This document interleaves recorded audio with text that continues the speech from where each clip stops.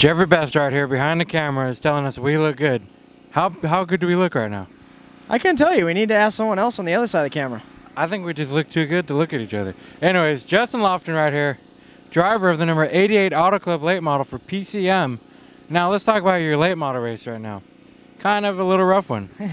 Yeah, they were uh, kind of picking on me a little bit, but then again, I was being probably a little more aggressive than I should have. But hey, you know what? It was absolute awesome to be able to come back out here. I've been haven't been out here since 2005. Paul gave me the opportunity to come drive a second late model, and you know what? We've got them really hooked up, and it won't be long before you see myself or Miles in victory lane in one of them. For you that don't know, he used to be a regular out here in the number 66 Lofton Cattle Ride. Yeah, that's uh, it's actually where I started my circle track career coming out of the off-road world, and uh, you know it's catapulted me. I'm running the 2009 ARCA RE/MAX Series, leading the points right now, and you know it's all thanks to Toyota Speedway. Now let's talk about ARCA now. First race Daytona, and a lot of people want to know what was going on. I was asking the same thing. I mean, Mike Kellenoff and myself are going back and forth, and we're just kind of like, this is a mess. But uh, you know what? It, that's kind of what the ARCA RE/MAX series is for, is for people to learn. And there was a lot of mistakes made on a lot of people's parts. And uh, you know what? I think it's made a lot of people better because of it. It's really helped out the RE/MAX series as far as safety and uh, you know making sure people are qualified to do what they do. You know, either be a spotter or a driver. And you know what? That's it's a learning experience. And you know what? They're really doing a really good job at uh, making up for it. One thing way cool about the ARCA division, you guys not only run Daytona, Talladega, Pocono, a dirt track, a lot of short tracks. Yeah, the ARCA RE/MAX Series has a lot of adverse tracks. Uh, we're going to Rockingham next week, which is absolutely a phenomenal racetrack and never should have been taken off the Sprint Cup schedule.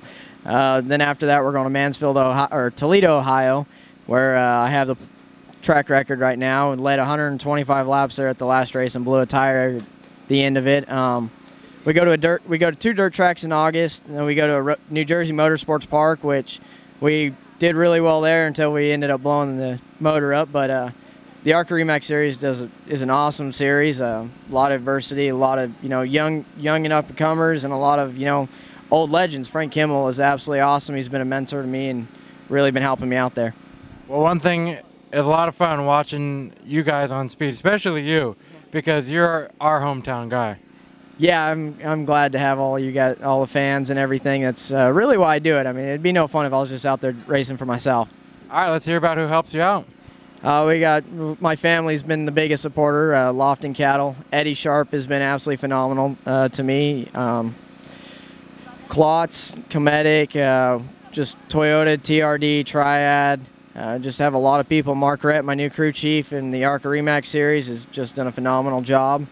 Uh, Paul out here in late models has done a good job, and you know they've been uh, pretty much main supporters. Anytime I'm down, I call them up, and they always build me back up. So there's a lot of good people, and I just, I mean, it's hard to name them all, and you know, just it's uh, really grateful for every one of them. All right, Justin Lofton, one more question. Easter Sunday tomorrow. What's the plans?